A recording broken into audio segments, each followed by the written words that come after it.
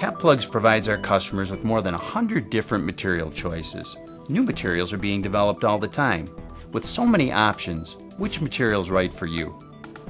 The primary consideration in choosing a material is application. What the part is going to be used for, and how do you need it to perform? When protecting a product during potentially rough shipping conditions, you should consider the hardness, density, and strength of a material.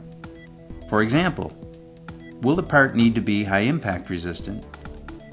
Or do you need a flexible material to cushion and absorb impact?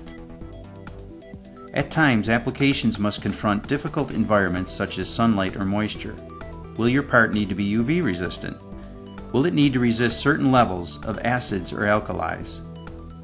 Does it need to conduct or dissipate electricity? Another significant factor to consider is the amount of heat a product will be exposed to. Caplugs offers materials that can withstand temperatures as high as 650 degrees Fahrenheit.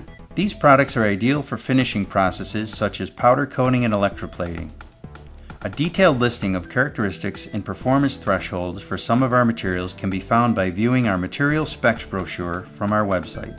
Often, the best way to decide on a material is to test it in the field. Request free samples at caplugs.com or call 1 888 Caplugs to try a part in your specific application before ordering. With over 100 different options to select from, Caplugs has the right material for your need.